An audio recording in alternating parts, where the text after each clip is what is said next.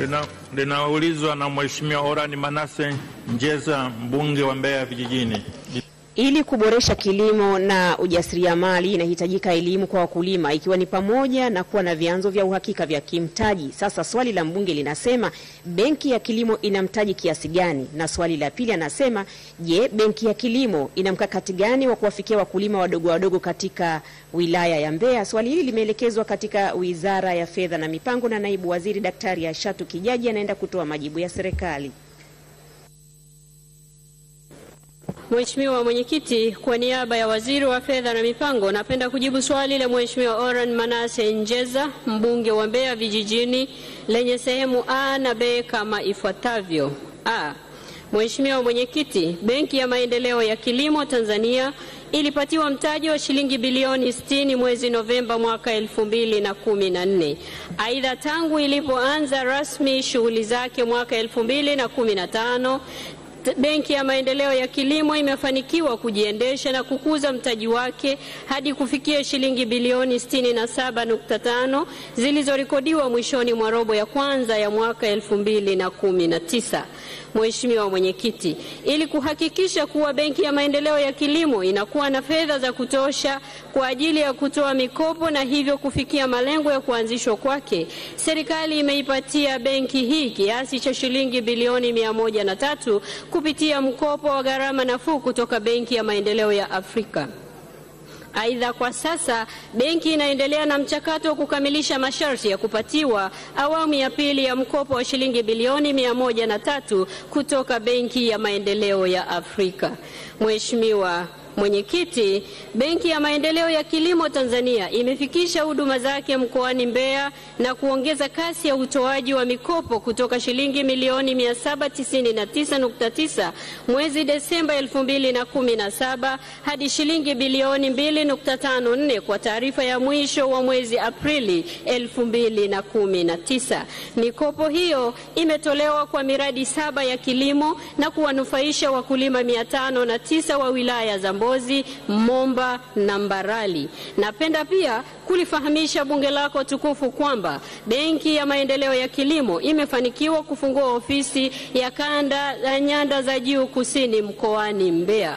Malengo ya ufunguzi wa ofisi hiyo ni kuhakikisha kwamba benki inasogeza huduma zake karibu zaidi na wateja wake ambao ni wakulima wote wa nyanda za juu kusini, ikiwa ni pamoja na wakulima wadogo wa wilaya ya Mbeya vijijini.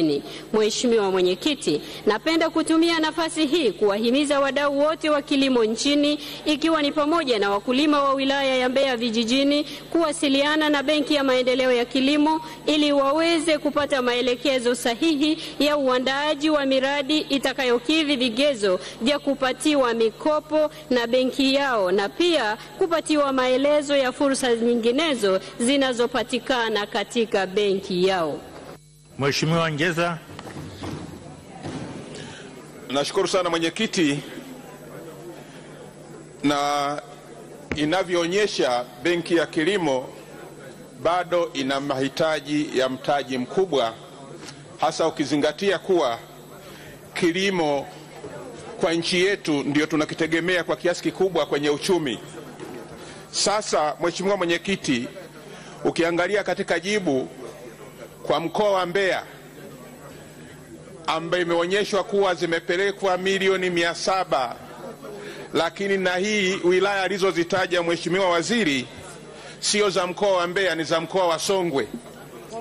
Kwa hiyo kwa jibu hilo inaelekea kabisa mkoa wa Mbeya haujanufaika na mikopo ya benki ya kilimo. Sasa swali langu, je, ni kwa kiasi gani serikali imewe, ime, imeweza kufanya tathmini ya mahitaji halisi ya mtaji wa benki ya kilimo, na je, mtaji huo utapelekwa benki ya kilimo ukiondolewa mbali hiyo mikopo ya ADB, itapelekwa lini huo mtaji kwa benki ya kilimo? Na swali la pili, Mheshimiwa Mwenyekiti, kwa kiasi kikubwa ukiwapa wakulima mikopo, riski kubwa iko kwenye bei, kwa sababu bei za mazao hazieleweki. Kuna riski sana kwenye bei. Sasa kwa kiasi gani benki ya kilimo kwa kutumia instrumenti za kibenki na vile vile kwa kusaidiana na taasisi zingine kama Commodity Exchange TMX zimeweza kutengeneza utaratibu wa kuondoa hiyo riski, wa kumanage hiyo riski ambayo inatokana na, na changamoto za bei za mazao yetu. Asante mwenyekiti. Asante. Majibu kwa ufupi tu kwa maswali hayo mawili, Mheshimiwa Naibu Waziri Wizara ya Fedha na Mipango, Dr. Kijaji. Mheshimiwa Mwenyekiti, kwa niaba ya Waziri wa Fedha na Mipango naomba kujibu maswali mawili ya Mheshimiwa Oran Manase Njeza, mbunge wa Mbeya Vijijini kama ifuatavyo. Swali lake la kwanza lenye A na B, tathmini ya mtaji na utapelekwa lini? Tathmini ya mtaji ilishafanyika Mheshimiwa Mwenyekiti, na kama nilivyosema kwenye jibu langu la msingi, tunaangalia njia nyingine za kufinance benki yetu ya kilimo ili iweze kuwa na uwezo wa kuwakopesha wateja wake ambao ni wakulima wadogo, wakulima wakati pamoja na wakulima wakubwa. Mheshimiwa Mwenyekiti, ni muhimu bunge lako tukufu likafahamu kwamba mabenki yote hayakopeshi kupitia mtaji, yanakopesha kupitia njia nyingine co-financing agreement. Ndiyo maana serikali ilitafuta mkopo wa bei nafuu kutoka Benki ya Maendeleo ya Afrika na ikaipatia benki yetu ya maendeleo ya kilimo Tanzania. Kwa hiyo hilo naomba waheshimiwa wabunge tulifahamu. Hakuna benki yoyote inayokopesha kupitia mtaji wake, inakopesha kupitia amana na njia nyingine za utafutaji wa fedha ili iweze kuwahudumia wateja wake. Serikali ipo tayari kabisa kuiwezesha benki yetu kupitia mipango mingine ili ipate fedha za kutosha za kuwahudumia wakulima wetu ambayo ndio lengo kubwa la uanzishwaji wa benki hii.